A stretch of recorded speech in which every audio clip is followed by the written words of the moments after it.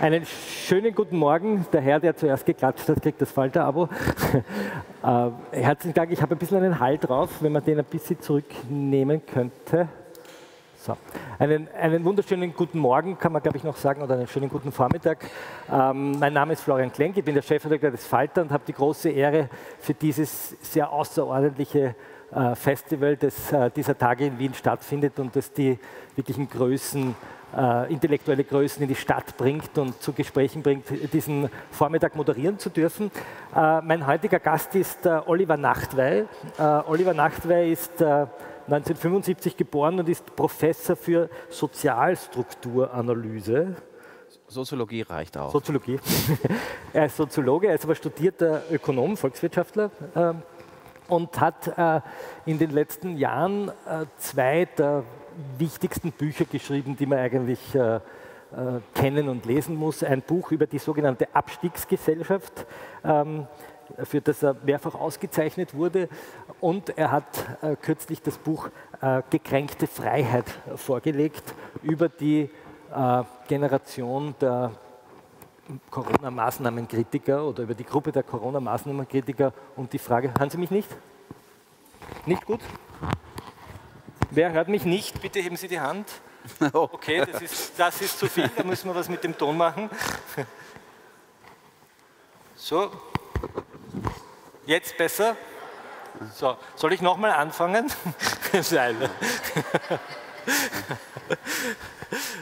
Ich wiederhole den letzten Satz. Also Professor Nachtwey hat das Buch Gekränkte Freiheit äh, soeben vorgelegt. Das ist, äh, ich glaube, ein Bestseller, oder? Zumindest äh, weil es einen, einen sehr, sehr wichtigen Nerv trifft, nämlich die Frage, wer hat damals gegen die Corona-Maßnahmen protestiert und wie haben sich linke und rechte Milieus verschoben in ihrem Denken, in ihrem Verständnis gegenüber dem Staat, in ihrem Verständnis darüber, was Freiheit ist und äh, wogegen man protestieren muss. Darüber werden wir heute am Rande sprechen. Das eigentliche Thema, über das wir heute reden, ist äh, der Angriff auf den Linksliberalismus, auf äh, das, was wir vielleicht die liberale Demokratie nennen, die liberale linke äh, äh, politische Einstellung, die uns alle sehr geprägt hat in den letzten Jahrzehnten und die unter die Räder kommt und zwar nicht nur, wenn ich sie richtig verstanden habe, von Seiten rechter Demagogen, sondern auch von Seiten jener, die sich eigentlich früher als links verortet haben.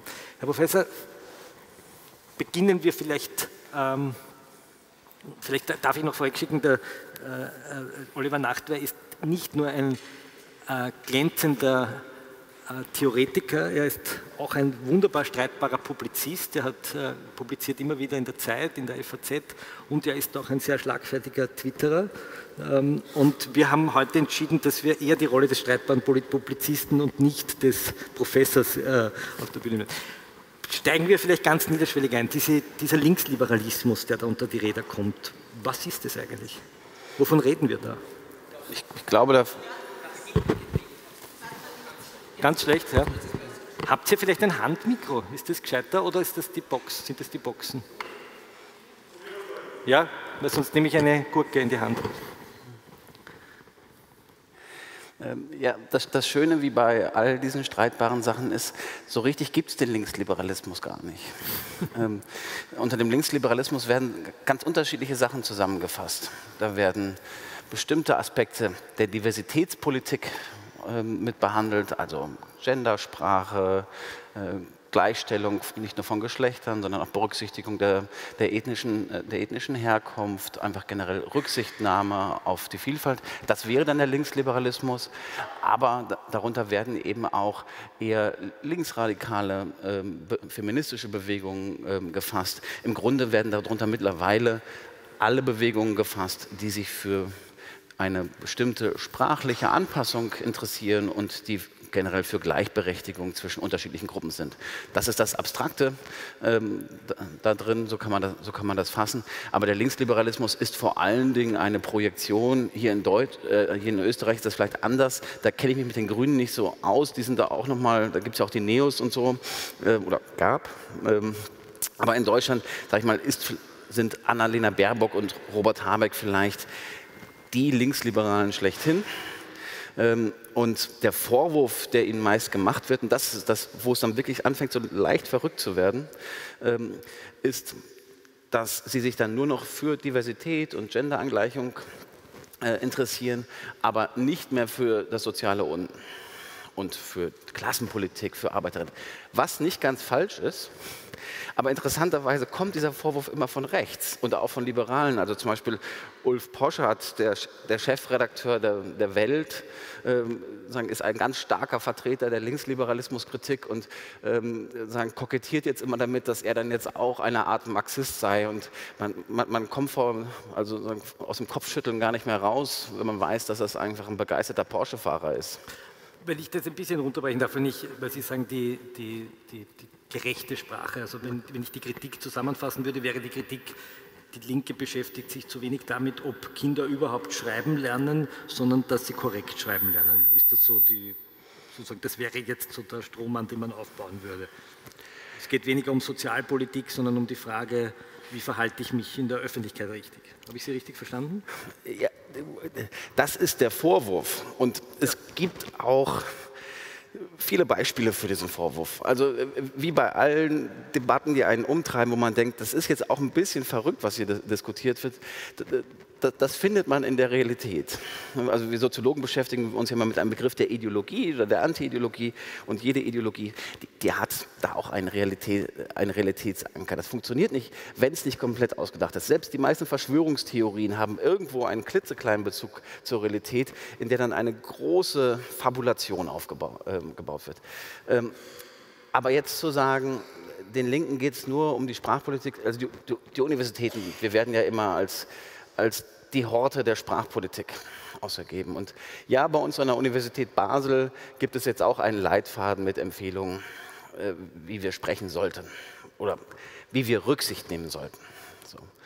Aber erstmal ist das nicht verbindlich, die meisten Leute kennen das gar nicht. Und ich kann aus eigener Erfahrung sagen, ähm, ist die meiste Zeit verbringen wir erstmal natürlich mit der Lehre und der Forschung, aber wenn wir uns um diese Fragen Gedanken machen, dann machen wir uns darum Gedanken, dass ähm, in unserer Fakultät, also nicht in unserer Fakultät, aber in, un, in, unserer Universität so viele Professoren beschäftigt sind, und zwar männliche Professoren, dass wenn wir die nächsten 25 Jahre ausschließlich nur Frauen berufen würden, keinen einzigen Mann, dann kämen wir auf ungefähr 50, auf ein Verhältnis von 50-50. So ist das Verhältnis.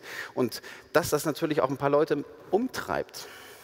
Ähm, wenn diese Verhältnisse sind, wo wir mehr weibliche Studierende haben als männliche, ähm, das leuchtet mir total ein. Und wenn das Linksliberalismus ist, ich bin gar kein Linksliberaler, ich bin ein alter Marxist, ähm, aber dann bin ich gerne links, also dann bin ich gerne linksliberal, ähm, weil diese Gleichstellung sagen, gehört auch zu einem Universalismus dazu. Das heißt, wenn ich Sie richtig verstehe, ist unter diesem angegriffenen Linksliberalismus, der mit dem Wort, Sie haben das als Headline in der Zeit verwendet, mit dem Wort Würg mhm. Sozusagen verspottet wird, äh, eine, sozusagen eine Projektion erworfen einer fast schon missionarischen Bewegung, die uns in allen Lebensbereichen neu formatieren und neu kontrollieren und äh, vom vom, vom, sozusagen der korrekten Mahlzeit bis zur korrekten Toilette alles vorschreiben will. Das ist die Angst, wenn ich sie richtig verstehe, die ja. gerade rechte, aber auch linke Akteure in Deutschland vereint. Ja, und wie ich gerade, also das Problem ist wirklich, die Angst ist nicht so ganz unberechtigt. Also erstmal, ich, ich, gehe damit ja offen um, also ich in meiner Wissenschaft sozusagen habe ich eine andere Position und da stelle ich, sage ich, meine, meine politische Haltung auch zurück in der Analyse. Ähm, aber wenn ich jetzt mich als politischer Mensch betrachte, dann, dann sage ich, und der aus der Linken kommt, äh, da ist es nicht immer schön und da, da geht es auch nicht immer äh, so, so, so, sympathisch zu, wie die Linke das sich von sich selbst gerne hätte. Zum Beispiel, haben Sie ein paar Beispiele? Äh, Studienbeginn. Ich, ich komme vom Dorf. Ich komme vom Dorf aus dem Ruhrgebiet und äh, ich bin jetzt schon 48, deshalb gehe ich mal gerne auf Gewerkschaftsveranstaltungen, da bin ich mich immer noch einer der Jüngsten. Wenn ich jetzt auf die, bei, der, bei der Klimabewegung bin, dann bin ich einer der Ältesten, dann bin ich ja nicht so viel. Aber ich, ich komme so vom Ruhrgebiet und ich sage mal, meine Familie ist so eine, der Großvater war, war noch Fabrikarbeiter, die Eltern waren dann schon so ein bisschen auf, ähm, aufgestiegen, aber das war noch so robust. Und ähm, bei unserer Familie hieß dann der Schaumkuss damals auch noch anders. Ähm, und da musste man sich auch erstmal dran gewöhnen. Aber das war schon so Sozialkatholizismus, also man war äh, durchaus empathisch. Ähm, und dann bin ich, an, äh, bin ich an die Uni Hamburg gekommen und ich war sehr, polit, sehr politisiert damals schon und wollte was machen und wollte ein Flugblatt gegen Studiengebühren schreiben. Ich bin dann in den AStA gegangen, das ist die Studienvertretung der Studierenden, und habe gesagt, Leute, ich möchte mich engagieren, kann ich was machen? Äh, habe ich hab gesagt, ja, setzen Sie sich an den Computer. Und ich, ich habe keine fünf Minuten am Computer gesessen. Das, das war die erste Aktion der ersten Studierendenwoche. Tippt mir jemand auf die Schulter und sagt, du genders nicht. Oder ich so, was? Ähm, du genders nicht.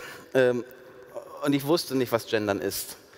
Und dann, ja, war ich dann natürlich etwas ähm, unangenehm berührt und wurde dann auch zurechtgewiesen. Und das, das ist dann so eine Art Dieter Moore-Moment, oder? Wo man, wenn man sich jetzt ja, der Unterschied ist, sieht, so also einen Moment kriegt und sagt, was, das, du weißt für mich zurecht? Ja, das ist, ist ein aber, Moment, wo man sagt, das, also Dieter Nur-Moment ist natürlich ja, also äh, die, der Dieter Nur-Moment wäre dann gewesen, wenn ich mich seitdem immer nur noch mit äh, dem Gendern beschäftigt hätte und erklärt hätte, wa warum die spinnen.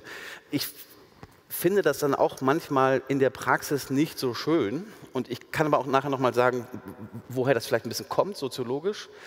Ähm, aber das gibt es. Es gibt diesen, diesen leicht rügenden Ton. Das, äh, das Gespräch, wie gesagt, ich komme aus dem Ruhrgebiet, da war auch ab und zu mal Fleisch auf dem Teller. Ähm, und wir hatten früher den Witz in meinem politischen Zusammenhang, woran erkennst du einen Vegetarier? Er sagt es dir. Ne, also das, das war immer sehr offensiv und es war immer sehr, sagen, es, es war immer damit verbunden, dass der, der dann kein Vegetarier war, in eine Rechtfertigungsposition kommen muss. Ja, irgendwo habe ich den Begriff gelesen, der sogenannten Zurechtweisungsgesellschaft. Würden Sie das so empfinden? Ich würde sagen, so ist das nicht. Das ist, wenn man das, so, wenn man das finden möchte. In der Soziologie haben wir immer eine Metapher.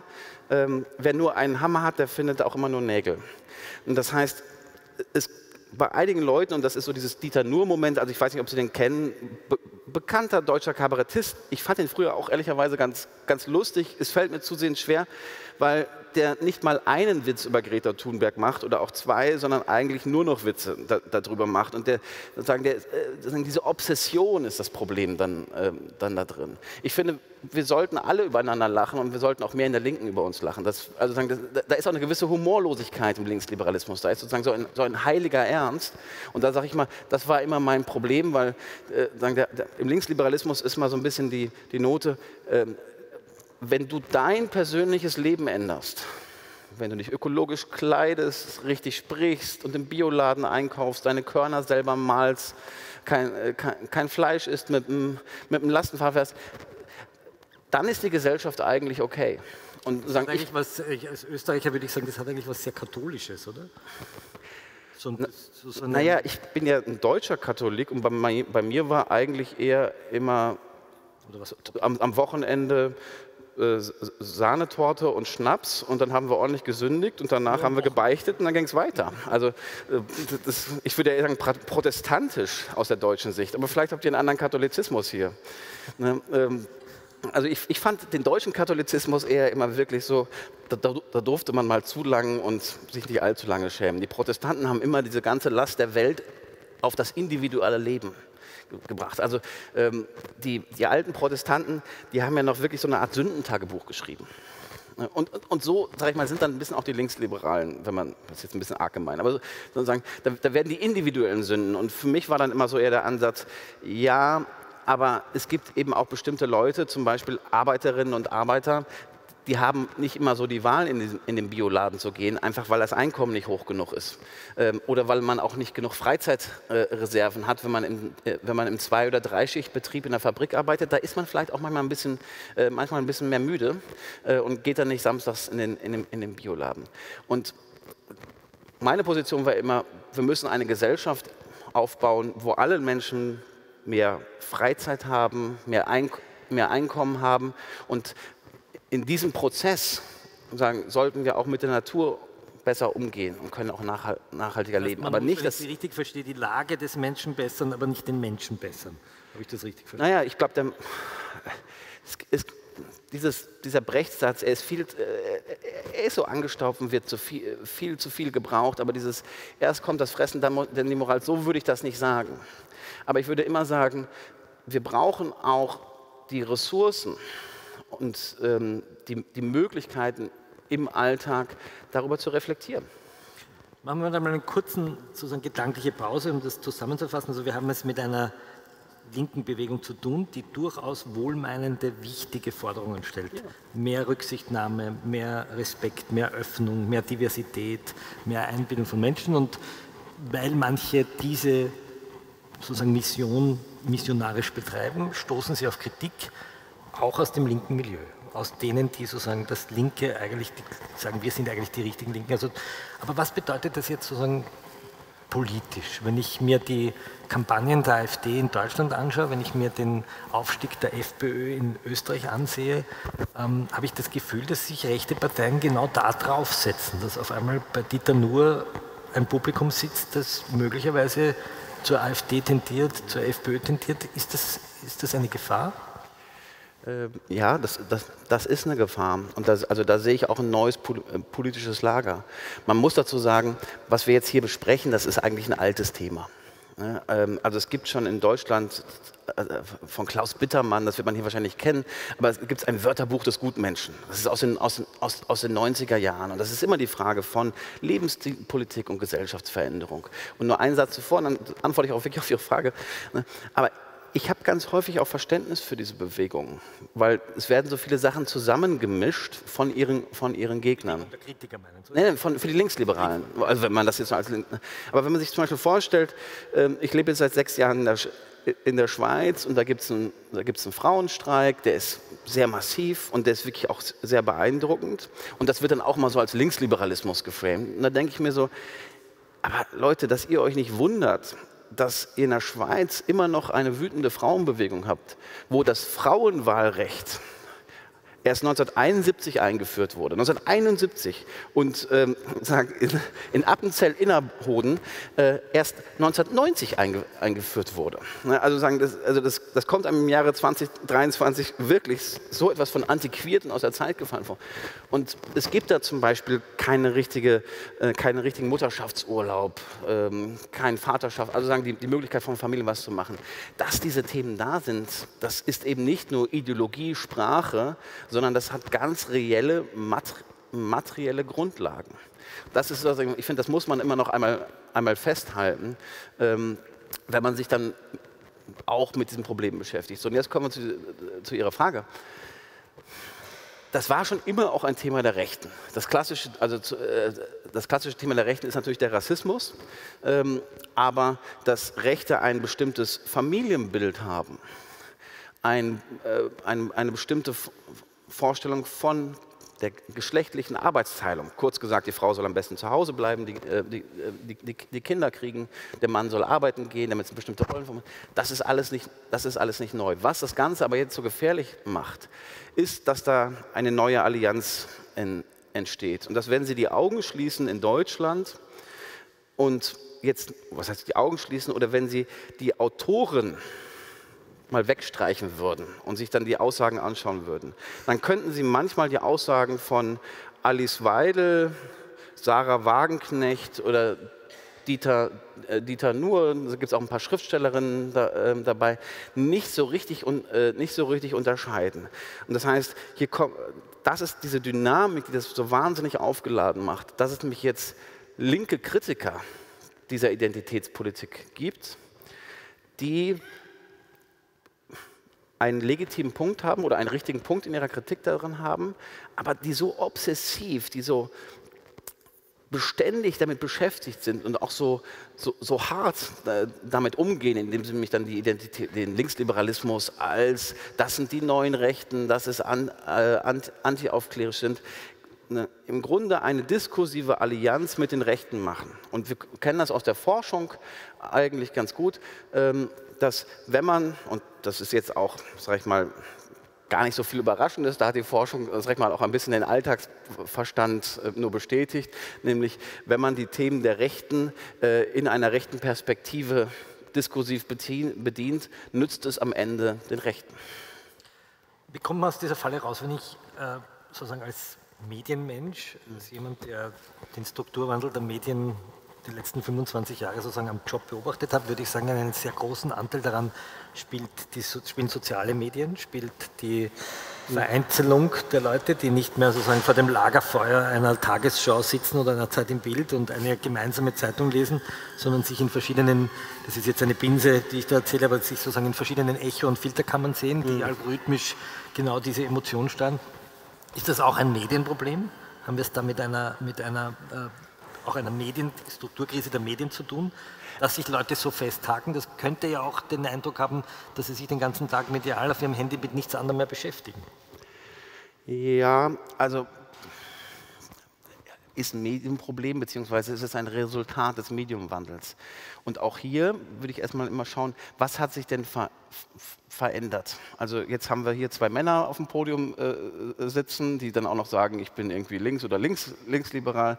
Aber wenn wir sag ich mal, die Medienpositionen oder die öffentlichen Positionen der letzten 30, 40 Jahre ähm, anschauen, dann gibt es eben sehr privilegierte Positionen im, im, im, im, Mediengeschäft und weniger privilegierte Positionen, beziehungsweise Personen, die vorher gar keine Sprecherposition hatten. Vor allen Dingen junge weibliche Migrantinnen, die hatten relativ, schwierig, relativ starke Schwierigkeiten, sich überhaupt öffentlich zu äußern und überhaupt eine Stimme zu finden. Und jetzt haben wir das interessante Phänomen durch Twitter.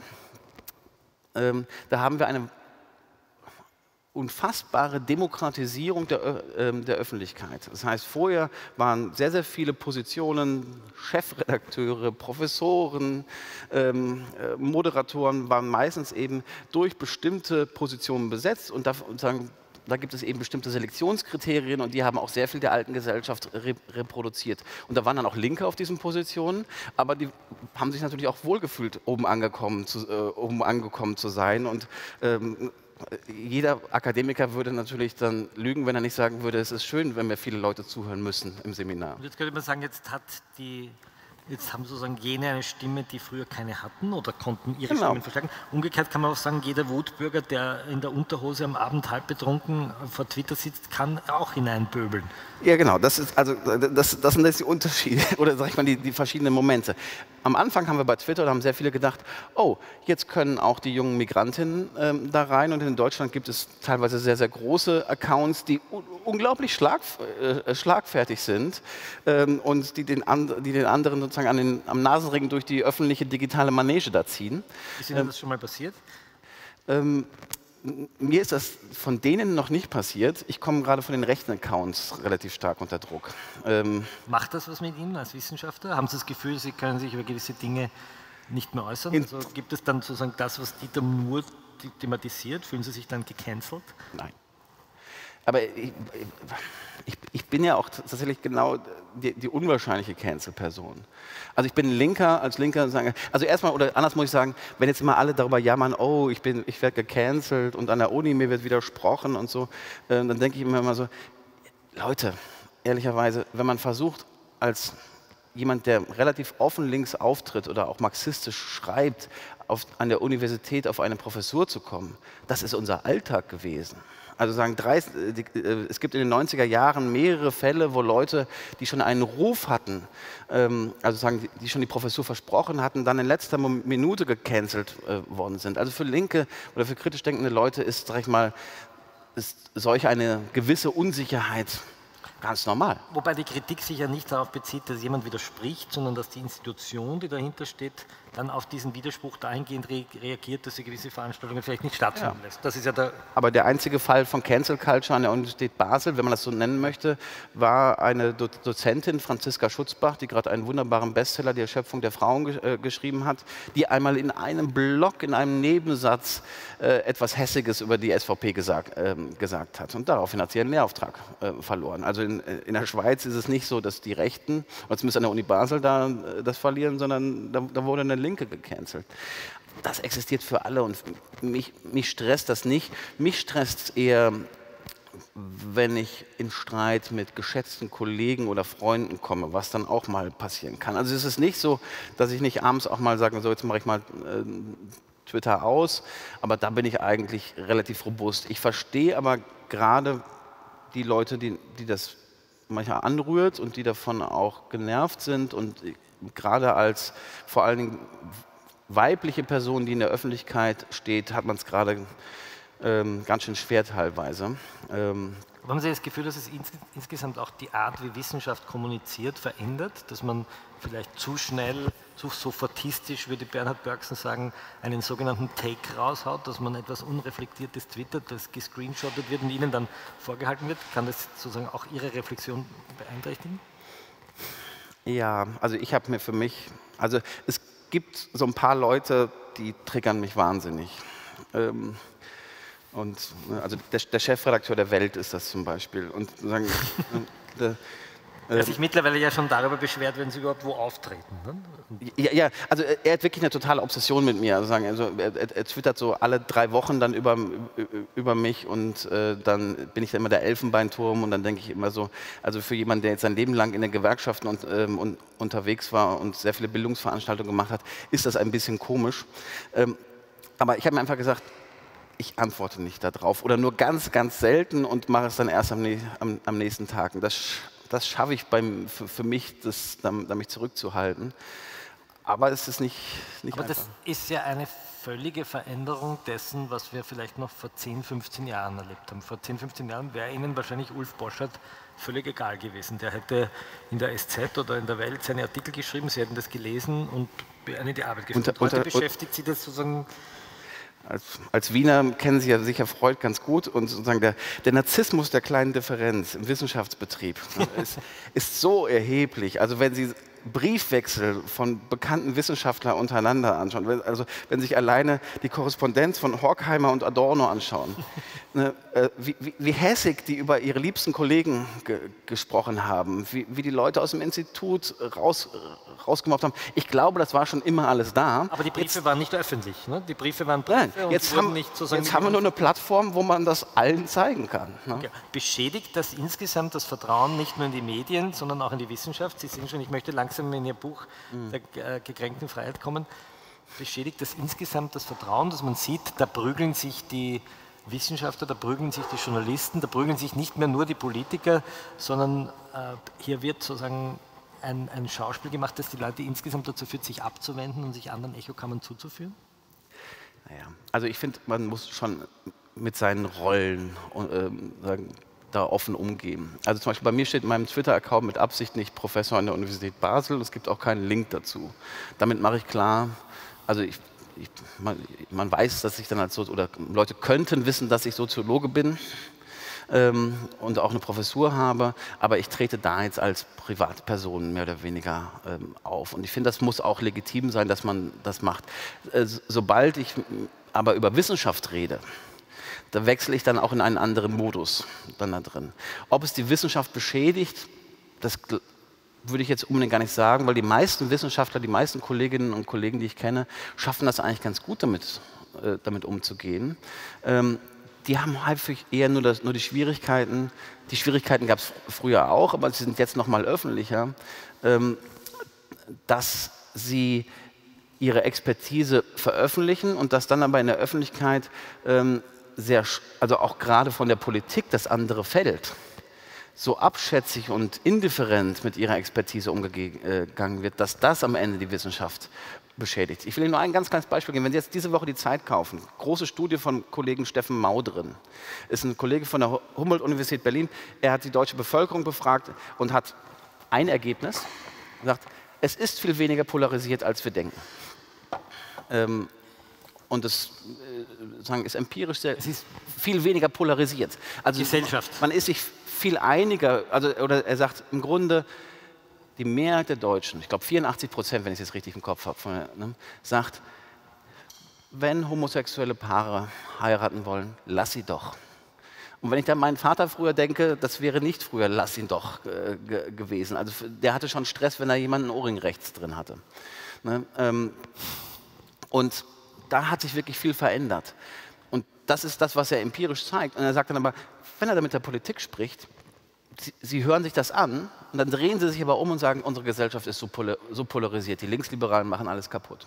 Und, dann, und da, da, sehe ich die Beschädigung der Wissenschaft, nämlich dass die anderen Akteure da drum und leider dann auch die Medien und da, sagen, ich, ich verfolge den Falter und schätze den sehr und sehe das beim Falter ist nicht so, aber ich, aber ich sehe häufig, sage ich mal, auch das Problem der Medien, dass sie so stark auf die Klicks aus sind, dass sie selbst immer nur die, die radikalisierte, die pointierteste Meinung präsentieren äh, wollen und müssen aus dieser, aus dieser Logik und Wettbewerb. Und dass dann eine, eine Position, die etwas zurückhaltender, etwas differenzierter kommt, dass die dann häufig gar nicht durchdringt.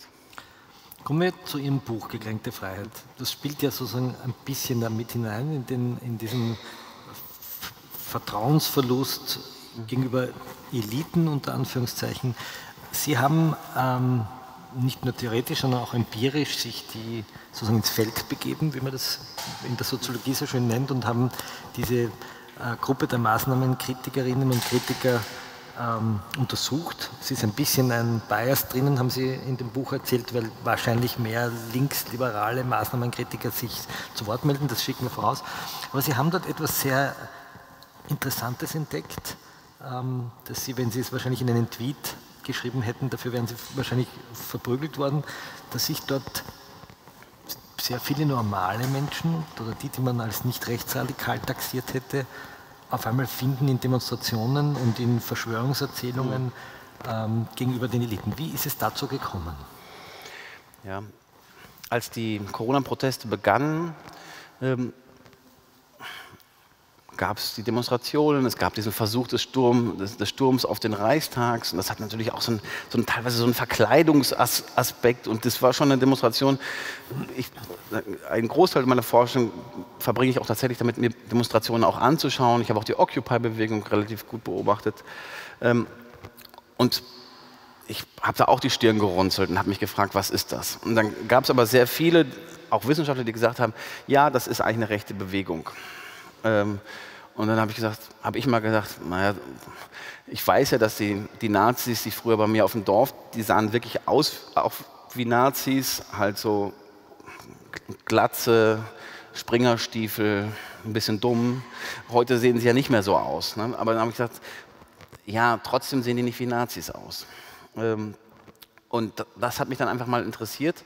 Ähm, und dann haben wir erstmal eine etwas größere Umfrage gemacht, sind zu den Demonstrationen hingegangen und das Ergebnis war erstmal, ähm, die meisten Leute waren erstmal keine Rechten, sondern das waren Leute, die aus der alten Friedensbewegung äh, kamen, aus der, aus der Ökologiebewegung und die erstmal... Auch aus der Flüchtlingsbewegung, wenn ich Sie richtig... Ja, ja, ja. Also und die, die, die erstmal eine Kritik an diesen Maßnahmen hatten. Also die klassische linke Position, mal den Staat zu kritisieren. Ja. Oder das finde ich, find ich, auch erstmal. Sozusagen mal die, die, Exekutive zu kritisieren. Die hatten, die hatten eine, sagen wir würden das mal Herrschaftskritik nennen. Eine, eine, eine Kritik an der, am Staat und an der, an der Regierung, was mir jetzt erstmal vom Prinzip her nicht äh, unsympathisch ist. Und es waren dann natürlich auch drastische Maßnahmen, die, ähm, die ähm, erstmal äh, der Lockdown, die Leute zu Hause mehr oder weniger einzusperren, eine, eine, eine Maskenpflicht. Also das waren äh, in Österreich kurzzeitige reale Impfpflicht, also alles Maßnahmen, die wirklich in die private Autonomie massiv äh, eingegriffen haben. Was aber das Problematische war, und hier gibt es, sag ich mal, ein bisschen die, Be die Beziehung zu dem, worüber wir vorher gesprochen haben, nämlich den Kritikern des Linksliberalismus. Aus erstmal einer Kritik, wo ich sagen würde, das ist eine unabhängig davon, ob man sie teilt oder nicht, aber das ist eine legitime Kritik, die man üben können sollte oder dürfte, ähm, entsteht eine Obsession. Und entsteht eine Obsession und eine Art, eine Art Drift. Und die Leute, die auf diesen Demonstrationen waren, die waren zum Beispiel nicht, die waren nicht rassistisch, die waren nicht autoritär. Wenn es darum ging, sollte man ähm, Kinder autoritär erziehen, darf man sie schlagen, waren die absolut gegen. Ne? Da möchte ich gerne einhaken. Wie ent, wieso entsteht diese Obsession? Das ist doch etwas, das wir, sozusagen die in den 70er Jahren Geborenen, gerade nicht mehr Boomer, in dieser Form eigentlich noch nicht erlebt hat oder wenn, dann in religiösen Erweckungsbewegungen erlebt haben oder in, äh, vielleicht in islamistischen Bewegungen erlebt haben, aber im grünen Milieu, im, im, im alternativen Milieu, im friedensbewegten Milieu hat es doch diese Form von Obsession eigentlich schon seit 30, 40 Jahren in der Öffentlichkeit nicht gegeben, oder? Wieso entsteht das? Ist das ja. der falsche Umgang mit sozialen Medien, dass sich ständig hochpushen? Also ich, das, das, ist jetzt ein bisschen gewagt, was ich sage, aber ich, aber ich glaube, die Obsession hat sehr viel mit 1968 zu tun. Ähm, nämlich, wenn man, wenn man möchte, das, sagen wir, 1968 war kurzzeitig der, die Hoffnung da und ein Aufbruch da, die Gesellschaft als Ganzes zu verändern. Welche Form es dann annehmen sollte, sei nochmal dahingestellt. Aber es, aber es war die Idee von einer Revolutionierung der, äh, der, der Gesellschaft. Und das hat auch etwas mit einer politischen Praxis zu tun. Äh, nachdem aber 68 dann eben dieses Ergebnis nicht äh, gebracht hat, sind nur noch Schrumpfformen davon übrig geblieben. Und eine Schrumpfform ist dann zum Beispiel wie geschlechtergerechte Sprache. Ähm, aber vor allen Dingen ist dann etwas entstehen, dass man sich statt die Gesellschaft zu revolutionieren, sich selbst, sich selbst revolutioniert hat und dann im Grunde eine stärkere Körperpolitik, eine stärkere Individualpolitik des Fortschritts gemacht hat. So ist in diesem langen Bogen.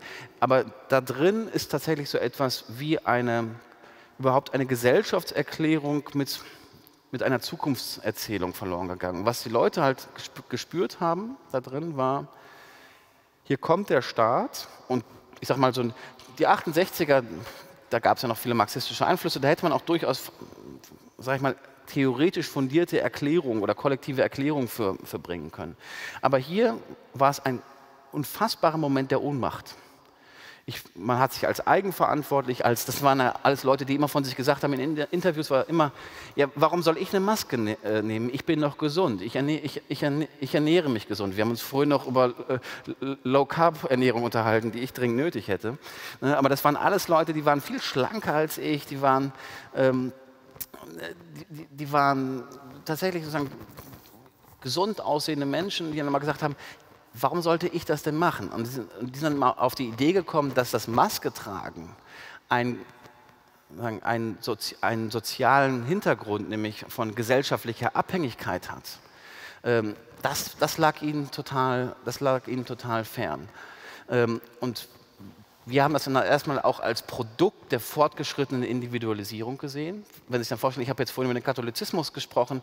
Ähm, die katholische Kirche aber auch die, ja, die, Protestanten weniger, aber Kirchen wie auch Arbeiterbewegungen, das ist ja auch in, in, Wien immer noch in vielen Institutionen hier zu sehen, das waren auch immer Entlastungsinstitutionen von, von individuell erfahrbarem Leid.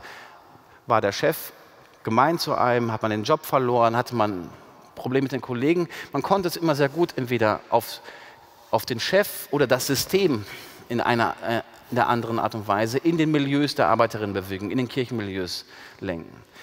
Mit aber dieser individualistischen 68er-Revolution gibt es keine Entlastungsinstitutionen mehr, sondern nur eine starke, eine stark gefühlte Ohnmacht. Und hier kommt dann das Element, die Obsession. Dann war das Gefühl daran, da muss doch mehr dahinter stecken. Das hat die Leute sehr, sehr offen gemacht für eine, Verschwör für eine Verschwörungstheorie. Ihnen waren selbst die alten Erklärungen relativ stark verloren gegangen oder es waren wirklich nur noch so extrem verkürzte Elemente. Ja, die NATO, äh, Davos. Also sagen, es waren dann noch so teilweise so Begriffshäppchen, so Soundbites da. Ähm, aber eine, eine Reflexion war nicht mehr möglich, sondern es war nur noch, sage ich mal, diese, diese Reflexion über die, über, die, über die Verschwörungstheorie. Und, das ist, und dieses Element, das haben auch teilweise die, die Kritiker des, des, des Linksliberalismus, nämlich diese, diese Obsession einer Verschwörung der Minderheiten, die jetzt uns alle die Freiheit nehmen will. Sie haben das in einem Gespräch, ich glaube mit Robert Miesig im, im Bruno-Kreisky-Institut, haben das ja schön beschrieben, dass die Leute dann im Netz sozusagen die Stimme suchen, die ihre Verschwörungserzählung unterstützt, die möglicherweise auch von Wissenschaftlerinnen und Wissenschaftlern kommen, die sich in sozialen Medien äh, äh sozusagen eine, äh, in Wirklichkeit im wissenschaftlichen Diskurs eine, eine krasse Einzelmeinung darstellen, aber dann sozusagen völlig überrepräsentiert werden.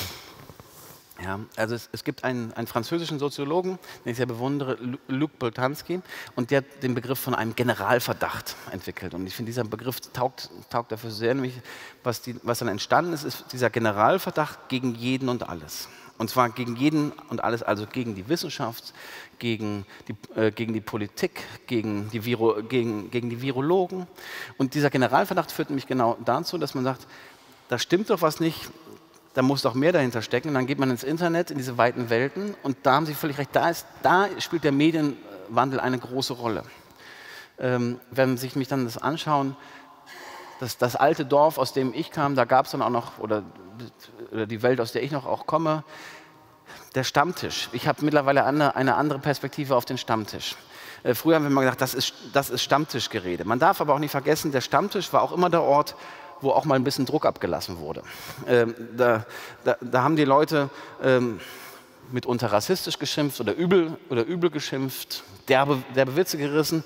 Aber am Ende musste der Wirt auch mal sagen, so, äh, jetzt ist aber Schluss hier, ihr, belast, ihr, ihr, belastet damit die anderen Gäste oder jetzt seid ihr zu besoffen und sagen, dann wurde die soziale Ordnung wieder damit hergestellt, indem dann kein Bier und kein Schnaps mehr kam und auch die Kneipe dann mal irgendwann Schluss hatte. Und wenn ich es richtig verstehe, vernetzen sich jetzt die Stammtische global, es gibt aber keine ja. Wirten mehr, die sagen Schluss jetzt. Genau. Und es gab halt pro Dorf, es gab halt pro Dorf nur drei Stammtische oder drei Kneipen.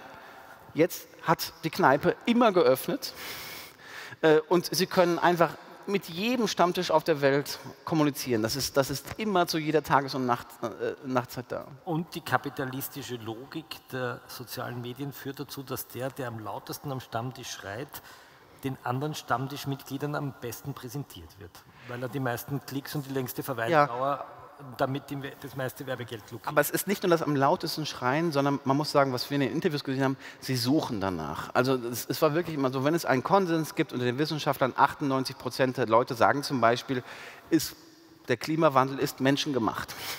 Ähm, diese Leute, sagen die, sag ich mal, diesen, dieses Potenzial zu diesem Verschwörungsdrift haben, die finden immer genau den einen Wissenschaftler, der sagt, äh, ich bin mir nicht so sicher, ob das menschengemacht ist. Ihr müsst euer Verhalten nicht ändern. Aber das wäre ja mal grundsätzlich von dem, was wir darüber gelernt haben, was Wissenschaft ist, mal kein schlechter Impetus zu sagen, ich suche nach dem schwarzen Schaf, um zu beweisen, dass es nur Weiße gibt. Wo ist sozusagen dieser Moment, wo ich aus einem kritischen Individuum das Widerspruch sucht, das Dissens sucht, das äh, auch die Dissenting Opinion lesen will, abdriftet in eine Welt, die nur noch sozusagen den Verschwörer oder den Wahnhaften trifft. Ich, ich, ich, bin ja sehr für die, wir nennen das ja immer im Wissenschaftssystem die Heretiker. Also die Heretiker äh, sagen, sind sehr wichtig in so einem System, solange sie über die gleiche Welt sprechen. Und da ist, das, ist der Moment eben ein, eben ein anderer. Wenn Sie sich Marx und Engels anschauen, Marx und Engels im 19. Jahrhundert haben die, hat, hat Marx in der ähm, äh, Bibliothek von London so lange gesessen, bis er mehrere Furunkel in meinem Hintern hatte. Der hat aber die ganzen bürgerlichen Wissenschaftler bis ins Detail studiert. Der hat, der hat, sich aber auch Geologie, Mathematik angeschaut. Und für ihn haben die aber immer über die gleiche Welt gesprochen. Er hat nur gesagt, Adam Smith oder David Ricardo, berühmte liberale Ö Ö Ökonomen, er hat teilweise sogar ihre Theorien übernommen. Er hat nur gesagt, aber eure Theorien, die sind nicht konsequent genug und da begeht ja ein Fehler. Aber im Grunde hat er immer in einem Dialog mit ihm gestanden. Und wo, der Schritt bei Ihnen oder was jetzt heute passiert, ist nicht, dass Leute sagen, wir müssen nach der, nach der Stimme zum Beispiel suchen, die sagt, vielleicht ist das gar nicht so ganz, ganz so schlimm. Und ich würde sagen, zumindest für Deutschland waren diese Stimmen auch Teile des normalen Diskurses. Da gab es zum Beispiel Hendrik Streeck als Virologen, der immer gesagt hat, wir brauchen nicht diese starken Maßnahmen. Also da gab es auch immer noch im Wissenschaftssystem bestimmte Korrekturmaßnahmen. Der aber dann ganz massiv attackiert wurde. Ich erinnere nur an viele Böhmermann-Sendungen, ja, wo sagen, Streeck sozusagen hingestellt wurde wie ein völlig Verrückter zum Teil. Ne? Ja, man muss aber auch sagen, dass dann Hendrik Strick sich dann hat, und da ist dann das Problem mit der Wissenschaft, was wir vorhin hatten, von der Politik eine Studie hat bezahlen lassen mit einer bestimmten, also sagen, wo, wo das Ziel der Studie relativ deu, ähm, deutlich war. Also der hat dann selbst, sage ich mal, sich selbst so stark, und jeder Wissenschaftler möchte auch gerne in die Öffentlichkeit, ähm, der Christian Drosten war jetzt auch in diesem Sinne nicht harmlos, sozusagen der hatte immer die Position durch die Regierung, die legitimiert war, aber der Streeck wollte dahin und ähm, hat dann sehr stark mit der Bild-Zeitung kooperiert, ähm, mit einer Agentur sich die Studien bezahlen lassen. Das wurde dann sehr stark, sagen, er, hatte, er hat selbst den wissenschaftlichen Pfad so weit verlassen, dass ihm dann ein, ein gewisser Instrumentalismus unterstellt werden konnte. Ich glaube, dass er am Ende immer noch ein seriöser Wissenschaftler war. Ähm Aber in den sozialen Medien ist er von dem Milieu, das man heute linksliberal nennen würde, in einer Weise attackiert und angegriffen worden, das ihn eigentlich fertig gemacht hat. Also, also so, ich habe ihn letztens doch in einer Talkshow gesehen, ich, also so mal fertig gemacht. Also, ich glaube, er hat irgendwann mal so ein, ich glaube, er hat irgendwann mal in der Zeit so ein Streitgespräch gemacht, wo er gesagt hat, er wurde markiert von, von ich glaube, von Böhmermann so als Gefahndeter wenn ich das richtig in Erinnerung habe, und gesagt hat, das lasse ich mich, möchte ich mir eigentlich nicht gefallen lassen. Das war eine sehr aufgehitzte Situation. Ich finde das ja auch nicht richtig, aber also auf den Corona-Demonstrationen habe ich eigentlich, nie den Streeck gesehen, sondern ich habe sehr, sehr viele Bilder von dem Christian Drosten gesehen, wie er ans Kreuz genagelt wurde. Also sagen, wenn, wenn es jemand in der Pandemie abbekommen hat, dann war es nicht der Streeck, sondern der Drosten. Ähm, und also wirklich, wirklich massiv. Äh, also in der, in der Schweiz wurde der Züricher Gesundheitsdirektor entführt. Ähm, also die, die, die, Leute wie der Streeck, die hatten da öffentlichen Druck zu verspüren, der auch unangenehm war. Die Leute, die die Impfungen befürwortet haben und da auch eine verantwortliche Position hatten, die mussten teilweise einfach Angst um ihre körperliche Unversehrtheit haben. Das darf man nicht, das darf man nicht vergessen. Ich will nur, ein, nur einen, einen letzten Punkt. Der, der, Punkt ist halt, man sollte die Außenseiter immer hören. Aber irgend, also sagen, wenn sich 98 Prozent der Wissenschaftler relativ vernünftig darüber im Klaren sind, das Wissenschaftssystem funktioniert da dann ganz gut. Und dann, und dann jemand sagt, und dann aber einer, und das ist dann häufig der Fall, der sogar fachfremd ist und sagt, ich habe mir diese, es gab dann Leute, die, die waren dann nur Mathematiker und haben gesagt, also ich habe mir jetzt diese Studien durchgelesen, das, das, stimmt so nicht mit dem Virus. Das waren Hamburger Mathematiker. Und so war das häufig der Fall. Also sagen, da haben dann Leute ihr Reputationskapital, nämlich ihren Professorentitel, in die Waagschale geworfen, obwohl sie selbst nicht kompetent waren und haben gesagt, das, das stimmt so nicht. Und haben dann dazu beigetragen, dass man gesagt hat, hier, hier, findet eine Verschwörung statt. Und wenn man über diese andere Welt redet, da, da muss ich sagen, da ist dann äh, auch irgendwann äh, das, das, Ende der offenen Diskus, äh, Diskussion er, äh, erreicht, weil man da selbst eben zu einem Fake News-Produzenten wird. Kommen wir ein bisschen in einen sozusagen vorausschauenden Blick. Wie, wie wird es in einer Social-Media-Welt, in einer völlig neu strukturierten Öffentlichkeit für einzelne Bürgerinnen und Bürger möglich sein zu erkennen, ob ein Social Media Account von so einem eitlen Hamburger Professor betrieben wird, der widerspricht, oder ob Galileo Galilei einen Twitter-Account hat, der sagt, äh, sie dreht sich doch.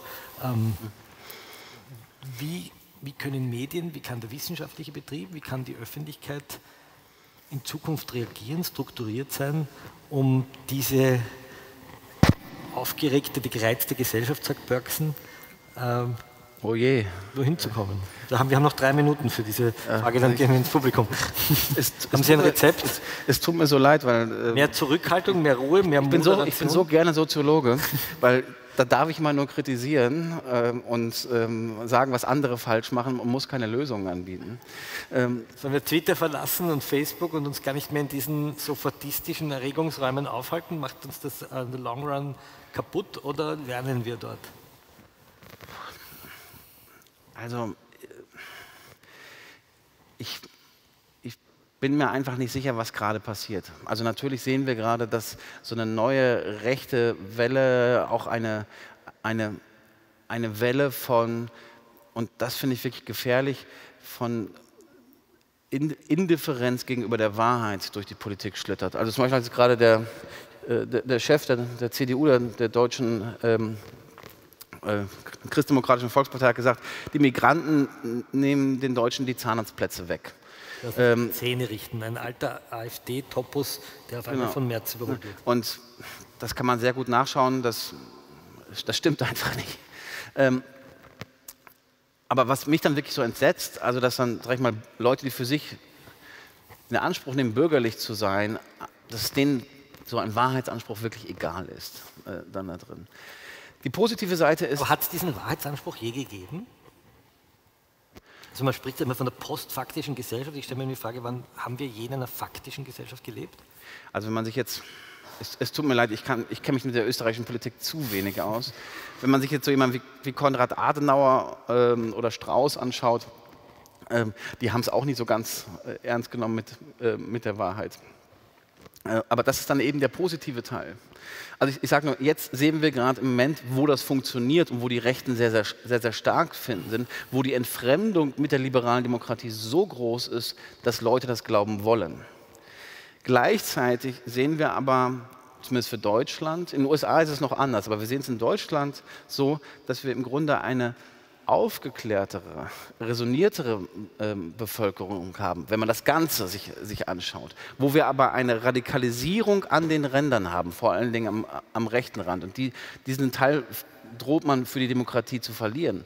Aber wenn man sich, sag ich mal, den, den Durchschnitt der Bevölkerung anschaut, bin ich da gar nicht so pessimistisch. Aber es kann natürlich sein, dass das alles medial so, so aufgehitzt wird, ähm, dass da dann auch noch mal bald die Herdplatten anfangen äh, zu, zu, brennen. Das, das, das, kann ich nicht sagen. Publizist Sascha Lobo hat jetzt kürzlich in seinem neuen Buch eine Studie zitiert, dass 40 Prozent der deutschen Bevölkerung davon ausgehen, dass sie von den öffentlich-rechtlichen Medien nicht nur falsch informiert, sondern absichtlich manipuliert werden. Gibt Ihnen das, stützt das Ihre These? 40 Prozent, fast jeder zweite Deutsche glaubt, von öffentlich-rechtlichen Medien manipuliert zu werden? Ja, ich meine, wenn man dann immer Wetten das und Schlager vorgesetzt bekommt, das würde mich dann auch immer stressen. Ähm, aber die meisten Sachen sind doch relativ gut. Also äh, das ist auch eben eine, eine Dis Dis ein Diskurs, der gerade äh, stattfindet, dass man sagt, den, Medien darf man, darf, äh, darf man nicht mehr trauen ich, also ich traue mir gerade nicht zu, eine Perspektive da, dazu geben. Es tut mir leid, dass ich da so vage bleiben muss. Also meine Sorge wäre, dass sich die politische Rechte, die Rechtsextremen, ihre eigene Medienwelt gerade schafft. Macht Ihnen das nicht Sorge? Doch, natürlich wenn, macht mir das Sorge. Wenn, aber wenn, wenn ich, Frau Weidel nach äh, Österreich ich, Besuch kommt und mit Kickel ein Interview gibt, dann macht er das ganz bewusst nicht. Aber wenn ich mir Julian Reichels Kanal NIOS anschaue, da denke ich mir, das ist wirklich so jenseitig und so blöd. Also ich meine, der ehemalige Verfassungsschutzchef äh, Hans-Georg Maaßen hat in Deutschland gerade geschrieben, im sozialistischen Deutschland hassen alle Intellektuellen die Nation. Und dann denke ich mal so,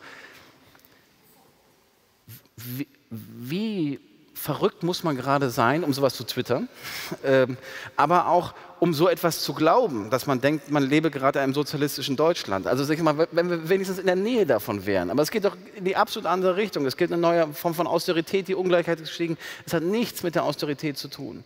Und das ist, sag ich mal, eher das, das, das Element, wir stürzen uns jetzt alle äh, da drauf, auf diesen, auf diesen Maßen und die, die Verrücktheit, die bei, sowohl beim Sender als auch bei den willentlichen Empfängern sind. Ähm, ich würde immer sagen, vielleicht sollten wir einfach eher dahin schauen, dass wir in Deutschland die größte Streikbewegung seit 20 Jahren in den, in den, in den Krankenhäusern haben, wo sich die Beschäftigten in eigenen Telegram-Channels ganz gut ähm, or, ähm, organisieren, ähm, wo wir im Grunde einen, einen sehr starken Bewegungszyklus äh, haben von, äh, von jungen Leuten und ein bisschen, sage ich mal, die, die, Perspektive wenden. Und da bin ich gar nicht, so, gar nicht so pessimistisch, wenn ich mir anschaue, dass in Deutschland, ich meine, wir haben jetzt 30 Jahre lang, haben die Gewerkschaften Mitglieder verloren. Verdi hat dieses Jahr 140.000 Mitglieder äh, dazu gewonnen. Ähm, das, sind so viele, das sind so viele Einwohner, wie Basel hat. Etwas weniger. Ähm, da würde ich sagen, es scheint ja nicht so, dass alle, dass alle Menschen gerade über die Medien so äh, ver verrückt werden, sondern ein paar bleiben doch bei klarem Verstand oder gewinnen sogar dazu. Zumindest ein Gewerkschaftsbeitritt äh, ist ja ein Beispiel dafür. Das ist eine sehr schöne, optimistische Schlussbemerkung und ich würde jetzt gerne Ihnen die Möglichkeit geben, ähm, in den nächsten 10 Minuten, 15 Minuten ein paar Fragen zu stellen. Ich würde Sie bitten, ähm, keine Co-Referate zu halten, weil die anderen Leute lieber den Herrn Professor Nachtwehr hören. Wer ein Co-Referat hält, muss sich dann ein Falter-Abo nehmen. Ähm, gibt es eine Frage? Trauen Sie sich, widersprechen Sie uns. Keine Frage, das glaube ich gar nicht.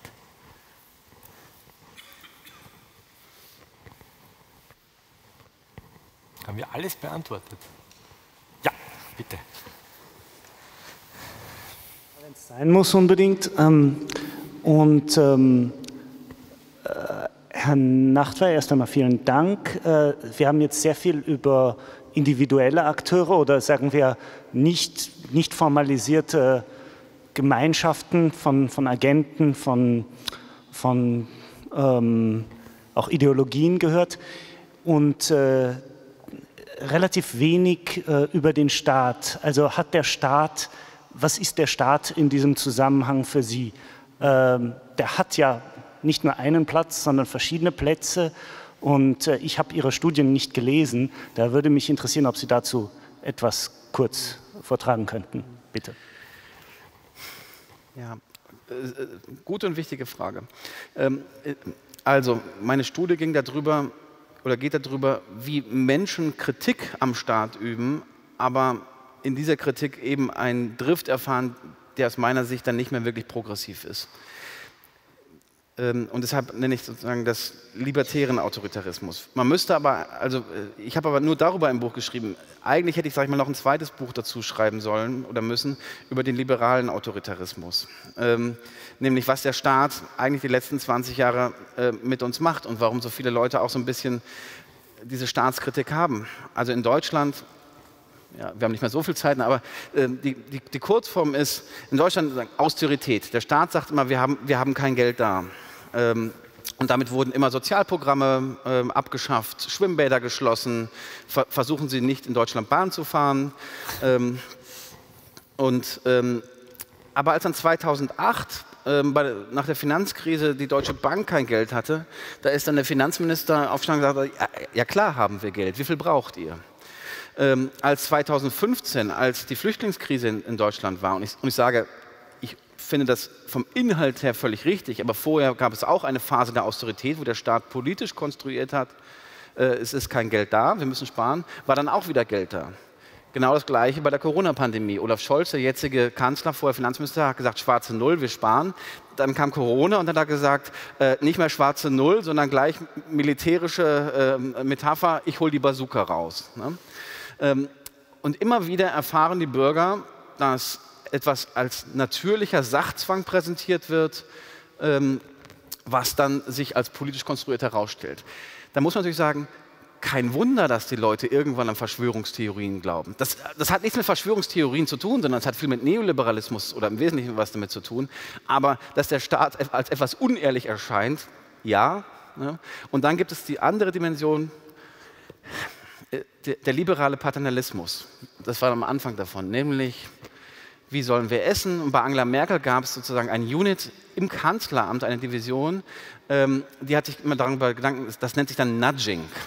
Und Nudging heißt dann zum Beispiel, bei mir wäre es nicht schlecht, aber im Grunde ist es auch total nervig, äh, an allen Cafeterien zu sagen, bitte packt die Schokoriegel nach unten und auf die Höhe äh, des, sozusagen der Arme so, sollen dann die Äpfel und ähm, die, die Birnen kommen.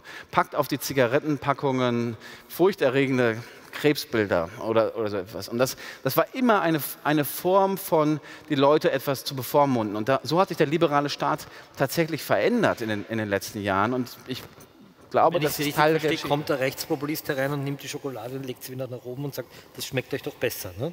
Ja, und er sagt dann auch, das schmeckt mir besser und das ist, das ist meine Freiheit. Äh, früher konnte ich immer so viel Schokolade essen, wie ich will oder so. Ne? Also das ist, dann wird ja auch meine andere, dass es dann früher gar nicht so viel Schokolade gegeben hat, das ist, das, das ist total egal. Das funktioniert immer nur über die Erklärung und Verklärung einer Gesellschaft, die es, ähm, die es nie gab. Bitte schön. Ja, danke. Äh, meine Fragen richten sich ähm, an das Umfeld, das politische äh, des Linksliberalismus. Es ist ja nicht eine, eine, eine, Weltanschauung, die im Vakuum existiert, es gibt auch ein Umfeld. Und mir kommt auch vor, in den letzten Jahren, also mit Covid-19, mit Trump, mit Putin etc., gibt es auch Herausforderungen, die uns dazu zwingen, wenn wir das bewältigen wollen, unsere Ansichten, unsere Einstellungen, unsere Reaktionen oft zu verändern. Wir können nicht weiterleben wie bisher. Das hat doch, glaube ich, auch einen Einfluss. Und darauf dazu noch gibt es doch nicht bei Kleinigkeiten, aber bei großen Themen vielleicht Faktoren, sprich Putin, dass eine gewisse Zerstrittenheit der westlichen Welt gefördert wird. Also zum Beispiel, ich habe gelesen, es kann falsch sein, aber soweit ich weiß, hat es geheißen, dass diese Flacherden-Leute, also diese Flat Earther, gefördert werden, unter anderem von Russland, weil sie einfach einen völligen Wahnsinn behaupten und die Zerstrittenheit fördern. Keiner wird annehmen, dass das je bleibt, dass Ideologie, dass die Erde wirklich flach ist, aber es fördert einfach ein Hickhack und lähmt andere vernünftige Entscheidungen. Danke. Es tut mir total leid, ich konnte es akustisch nicht verstehen. Entschuldigung, ja. war das? Ganz, äh, vielleicht wenn Sie es noch mal ganz kurz die Frage formulieren können. Es ist, es ist halt leider so, dass wir tut mir sehr leid, keine Monitore haben, sehr schwer verstehen. Ich fasse mich ganz kurz. Ja. Erster Punkt, Linksliberalismus ist, ein, ist in einem Umfeld. Ja? Und das Umfeld spielt, glaube ich, auch eine Rolle, weil es sehr anders ist als die 10, 20, also die letzten fünf Jahre sind doch sehr verschieden mit Covid-19, mit Trump, mit äh, Putin jetzt, ja, als die 10, 20 Jahre davor. Also wir müssen, glaube ich, öfter unsere Meinungen anpassen, wir müssen uns Herausforderungen stellen, die in dieser Form in Europa nicht so notwendig waren. War das jetzt verständlich? Ja? Und das Zweite ist, nur ganz kurz, es gibt, glaube ich, auch Protagonisten, zum Beispiel in Russland, die die Zerstrittenheit der westlichen Welt, ein Hickhack, fördern wollen. Also die Interesse daran haben, dass wir uns streiten über Details und die wichtigen großen Themen nicht gut bearbeiten können. Die Profiteure dieses Konflikts. Ja, also ich sag mal, da sind wir natürlich bei dem Linksliberalismus, bei, bei dem immanenten Problem. Also ich meine, die, die Kurzform des Problems beim Linksliberalismus ist ja, dass sie dass das Element, was der Linksliberalismus in den 70er Jahren noch hatte.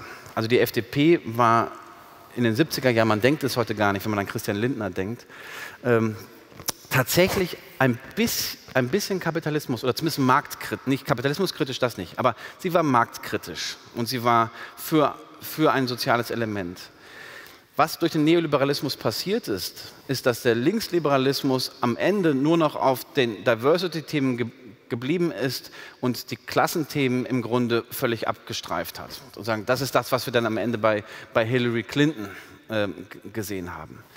Was der Linksliberalismus auch sehr stark abgestreift hat, ist eben jetzt durch den veränderten Kontext, den Sie zu Recht äh, sagen, ähm, ist zum Beispiel das alte friedenspolitische äh, Motiv gerade aus den Grünen kamen ja sehr viele aus, den, aus der Ostermarschbewegung, aus der, ähm, aus, der, aus der Friedensbewegung. Und wenn man sich jetzt dann die bestimmte Akteure dann, dann anschaut, haben sie in einer neuen, in einer neuen Konstellation, ähm, sagen, sind sie von einer, die, die, einer Bewegung, die im Kern gesagt hat, Russland ist unser Freund, die NATO ist das Böse, zu einem, äh, zu einem Akteur geworden, der jetzt genau das Gegenteil, äh, genau das Gegenteil sagt.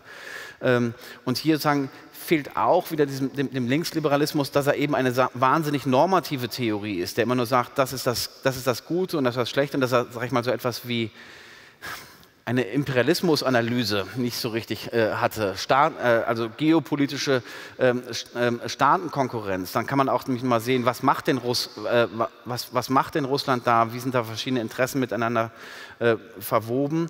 Also das ist immer, sage ich mal, ein, ein bisschen stark die, ähm, die Theorie der gebildeten Mittelklassen, die dann sich aber wundert, dass zum Beispiel der globale Süden ähm, auf Putins Seite äh, nach, nach, wie vor steht. Dafür gibt es, wenn man sich die Weltgeschichte äh, der letzten äh, 20 oder, oder, eher 50 Jahre anschaut, zumindest ein paar historische Gründe, die man sich, äh, die man sich anschauen ähm, könnte. Und das ist, sage ich mal, das Problem des Linksliberalismus, ähm, dass er immer ein bisschen ja, nicht über sein eigenes Milieu und die Interessen seiner eigenen, seiner eigenen Milieus so herausschauen kann. Also das ist immer, sage ich mal, dieses, ähm, dieses Bioladenproblem, was die einfach haben, dass sie einfach nicht verstehen können, dass andere Leute nicht im Bioladen einkaufen können. Ja.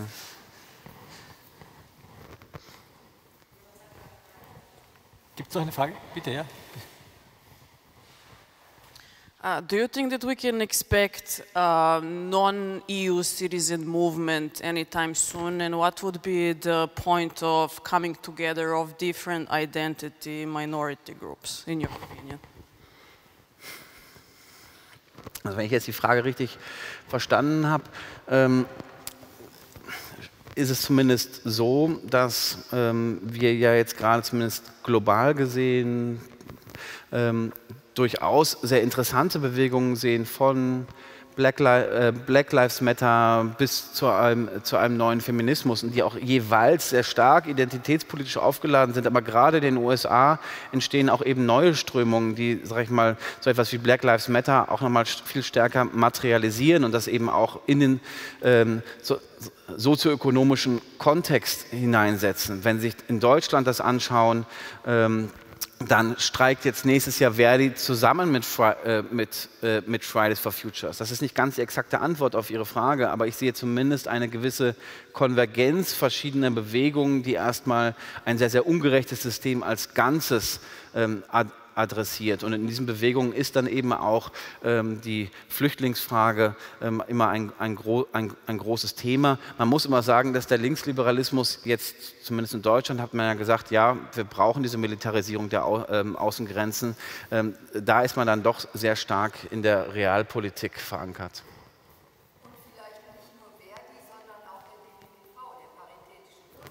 Hm. Das stimmt.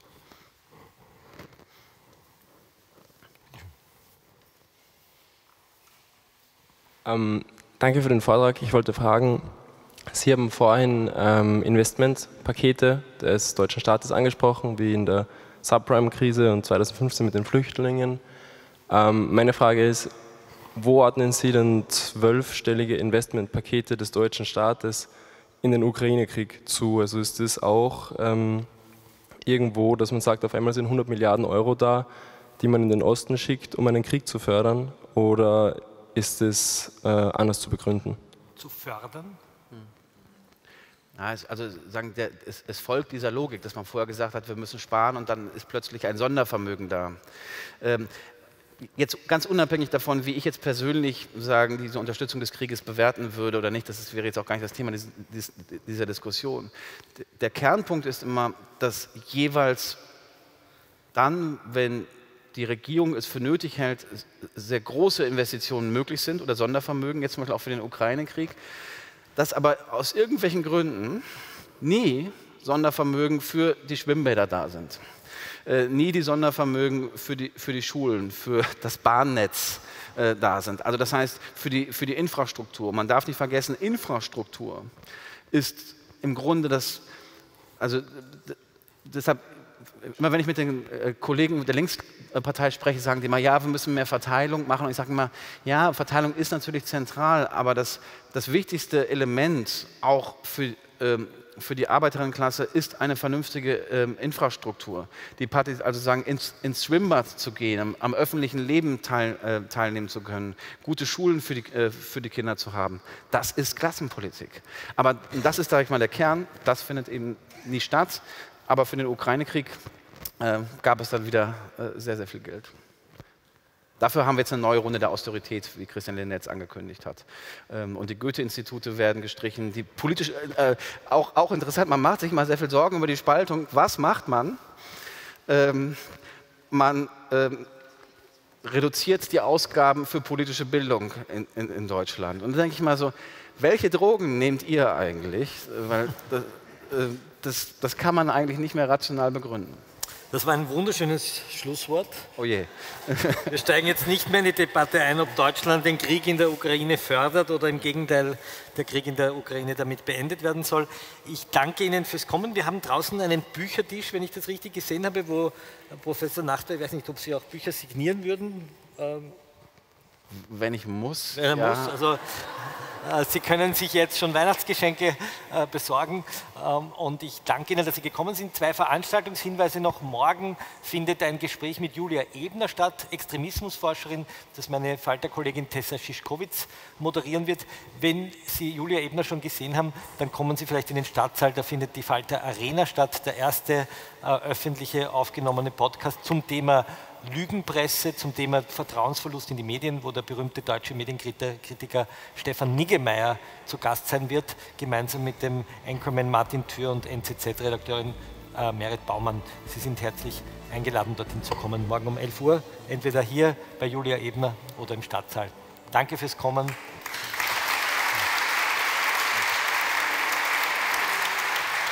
Danke Ihnen.